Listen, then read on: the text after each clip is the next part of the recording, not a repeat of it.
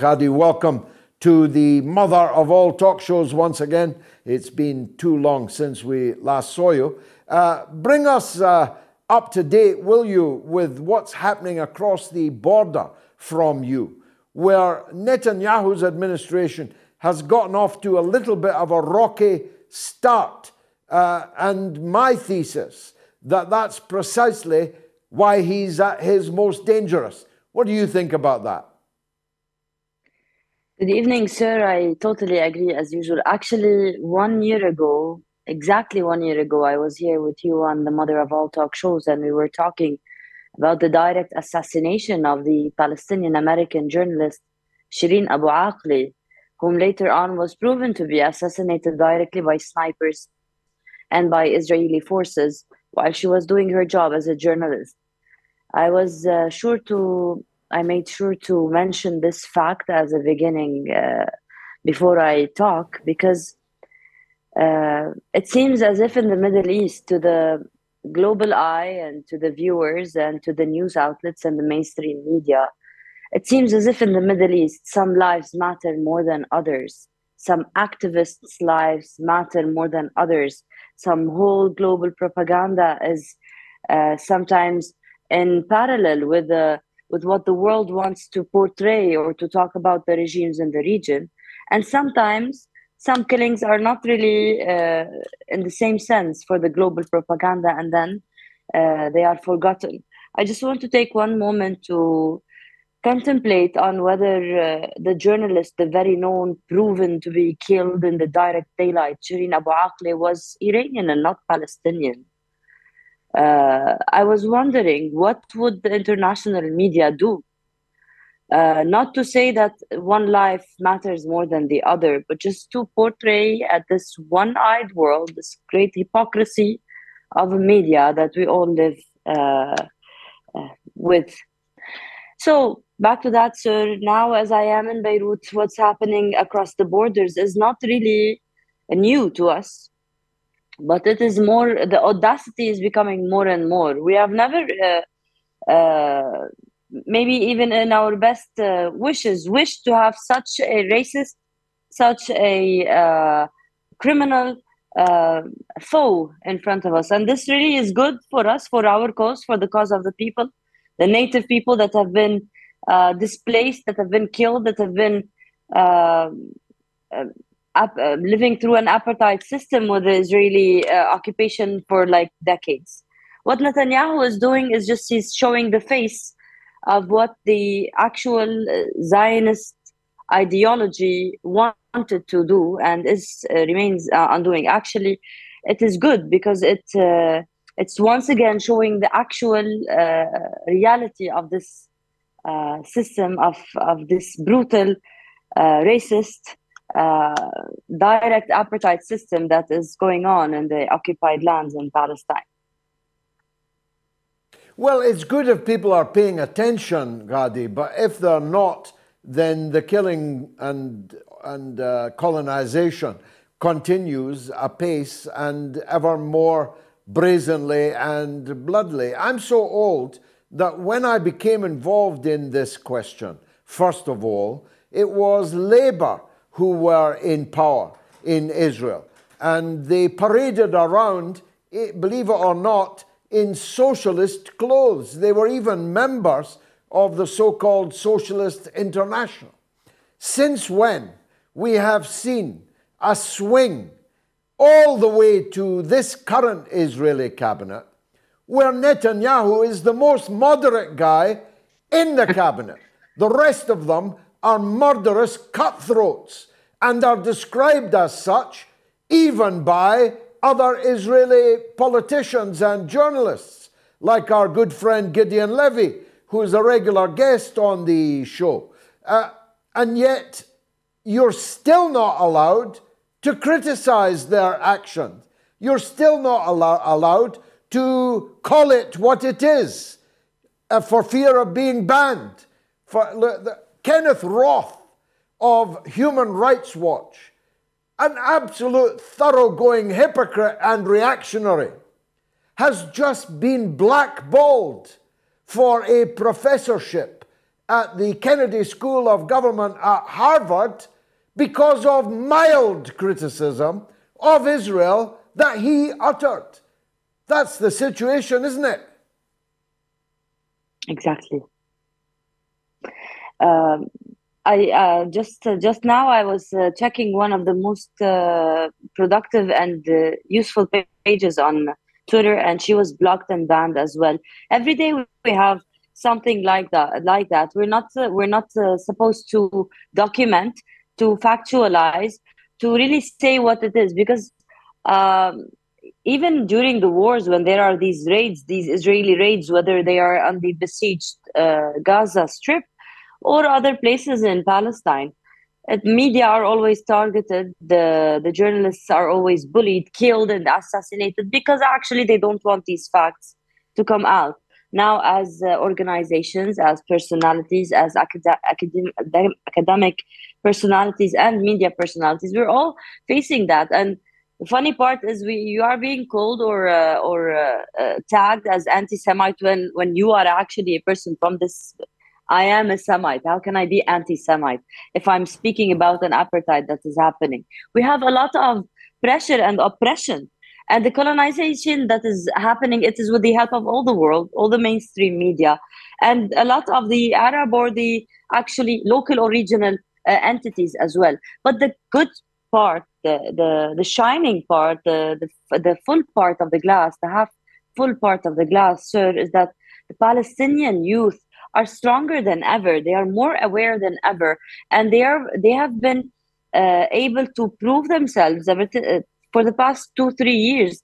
They have been able to prove themselves as really uh, united and aware, and they have been able to prove their causes everywhere inside Palestine. From actually Jenin, where the oppression is ongoing day to day, day in day out, just last week, two Palestinian teens were killed uh, in the in the West Bank. Uh, as we speak right now, women, children, journalists, teenagers, they're being kidnapped. They're being uh, uh, suspended. They're being uh, arrested without even any charge and uh, this has formed a certain awareness and the people now are especially the, the youth they're more able to use the, the tools and the skills to really shed a light on uh, what their lives uh, are like. It is not easy but when netanyahu becomes uh, uh, uh, the most moderate figure in the israeli government or in the israeli coalitions right now um, this really calls for fear of course. We are uh, we have to take into consideration that now someone who says death to arabs is not an extremist extremist on the street. Now he's part of the governing entity. But also this in a way is also very good because now it is very obvious to everyone in the world uh, what kind of apartheid uh, mentality the people of palestine are living and uh, and facing. And uh, the truth must, uh, in the end, must shine.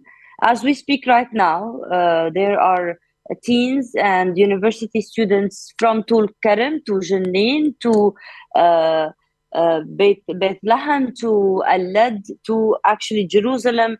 They are active everywhere on social media and the streets, and they are not letting this pass.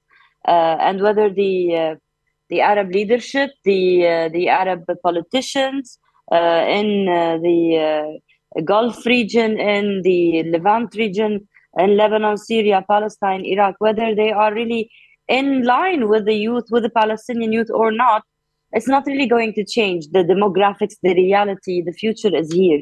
And uh, these kids, without the help of anyone in the world, without uh, uh, weapons, without money, without funds, they have been able to raised their voice ever since Sheikh Jarrah until day. And this, for me, as a person in this region, is the hope uh, and is the future. And uh, Netanyahu can rule now, but nobody can defend this apartheid any any longer. Maybe one year, maybe two years, but in the end, the world cannot remain silent because it's very obvious we're being killed down the streets, sir.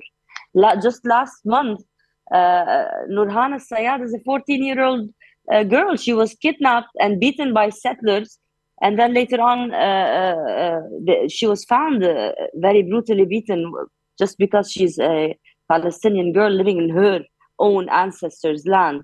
And even the moderate Jews of the society over there are facing such things.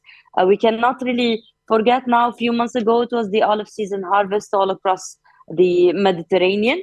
And in Palestine, where the olive uh, season is something encrypted in the legacy for thousands and thousands of years, ever since the Palestinian Jesus was born. But just like every year, the farmers are being um, uh, they're being tackled, they're being terrorized, they're being beaten up, and sometimes killed when they're trying to go and harvest their trees. Now, this cannot be always displaced as this is the terrorism, while you have uh, Ben Gvir uh, shouting death to Arabs, and you're going to sell this as a moderate politician anymore, or a democracy, or whatever they used to say. It is the leading democracy in the Middle East. It's not. It is a place where 14 year old girls are being beaten up just because they are of a certain race, ethnicity, religion, uh, and this, sir, uh, is the ABC of an apartheid. And what uh, the world wouldn't uh, tolerate decades ago, and what South Africa and other nations all around the world was able to break decades ago, will not be tolerated in Palestine, where we have thousands and thousands of very enlightened, very strong, and very, uh, uh, very decided uh, people, and they will uh, they will get their rights one way or the other. Well, Mandela's grandson, I saw just the other day, uh, denouncing what he called apartheid. In fact, he says what the Palestinians are facing is much worse than the apartheid that the uh, Africans in uh, apartheid South Africa faced. And of course, he was then uh, savaged as an anti Semite. The same trick they tried uh, with, uh, with Archbishop Desmond Tutu when he said something similar. If I was in the British Labour Party, God forbid, and I described Israel as an apartheid state, I would be expelled from the party for that single comment. Only got time uh, to deal with one more subject, Ghadi, if you'll bear with me.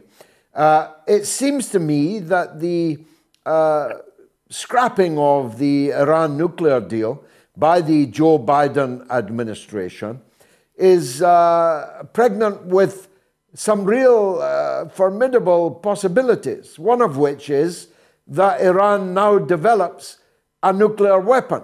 Uh, it says it is theologically opposed to uh, such a weapon, but it now at least has no treaty obligation not to build one, as it previously did with the Iran nuclear deal. Israel is raising as much as it can the fear of such a thing, not least in Saudi Arabia. At the same time, Iran is offering an olive branch to Saudi Arabia the plates are still uh, shifting uh, in the Persian Gulf region.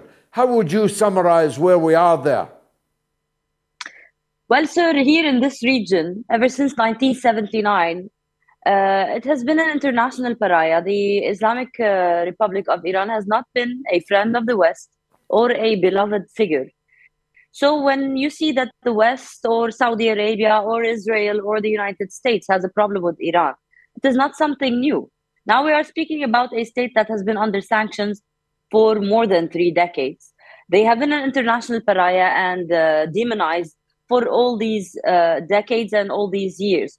So now, if the Americans are angry or the treaty is not going to happen, or there's uh, like uh, a fear or a brewing fear uh, of Iran, what more would the West do?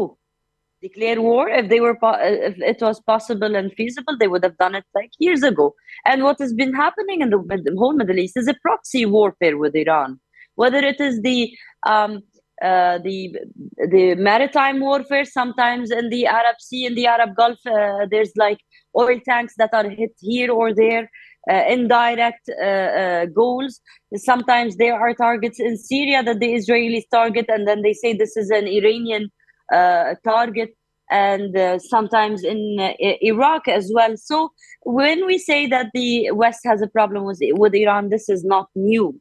And when we say that Israel is trying to make a problem or like to to increase or accumulate this, or accelerate this with the Saudi Arabians, also this is not uh, true. But now we are speaking about a regime that has been able to prove itself very worthy of making manufacturing weapons, drones, military drones, military rockets, ballistic rockets, and also, as the whole world knows, this nuclear enrichment and uh, the uranium enrichments, and so on. Yes, it is a theological no-no for the Islamic uh, leadership of Iran uh, to have a nuclear bomb, but uh, whatever it was bargaining or it was uh, offering the West wasn't something different. They, the Iranians have remained on their terms before, during, and after the nuclear uh, talks were like uh, coming to a good term or a bad term. The Iranians have always said the same thing you uh, release the sanctions and we will talk about other other things. The West has been the, party that has been changing and fluctuating. Sometimes they want to uh, release the sanctions over the IRGC, and sometimes they said they say no, you can sell these nations or not. But uh, the fact is, Saudi Arabia does not have the ability to fight Iran. Does not have the uh, uh, the uh, they don't want to fight Iran. They want to see every nation is now looking for its own interest, especially with, the world changing since the last uh, February, since the whole world stopped and was watching what's happening uh, uh, between Russia and Ukraine. So Saudi Arabia now at the time when the for the first time maybe since the founding of, of Saudi Arabia, it is saying no to the terms of the United States. The OPEC is uh, sometimes saying we want to have an oil cut production, so on. There with the Chinese and with the Russians, they're forming their own policies. At such a time, to drive Saudi Arabia to fight Iran, I don't think it's possible when you see that they are actually leading indirect talks in Iraq or the Saudis are coming back to Syria or all these fronts that were basically front lines between Iranians and Saudi Arabians now are uh, uh, places of uh, maybe talk or indirect talk.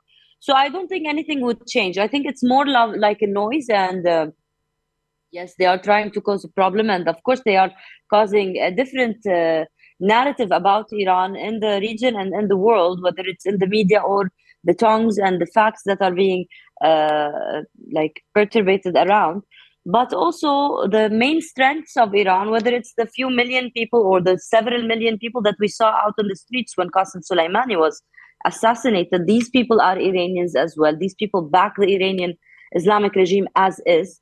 And the Islamic regime manufactures weapons, drones, uh, that has oil production and uh, nuclear power. So uh, I don't think it's going to uh, to face any different or uh, let's say harder circumstances in the future. It hasn't been an easy way for Iran during the past decades.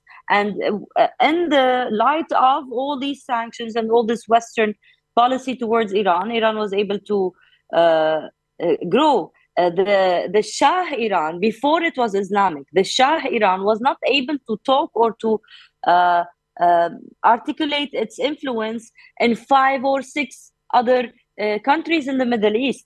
Today, when you speak about the Islamic uh, regime in Iran, you are speaking about uh, about a regime that has an alliance with Syria, Iraq, uh, Yemen, Lebanon, Bahrain, parts of uh, uh, uh, maybe Kuwait or Oman. So you are not talking about a regime that is closed in Turkey as well and Kurdistan, the, the Iraqi Kurdistan. So you are speaking about an Iran that is even more powerful than it was before and that doesn't really need anything from the West in this region. So I think it's all noise, and uh, we have a, a tough uh, few months to come. But uh, another uh, reality must be drawn, and diplomacy will come back to solve the issue because there would be no such war with Iran. Nobody can handle such a war with a very strong nuclear Iran. Ghadi Francis, thanks for joining us on the Mother of All talk shows.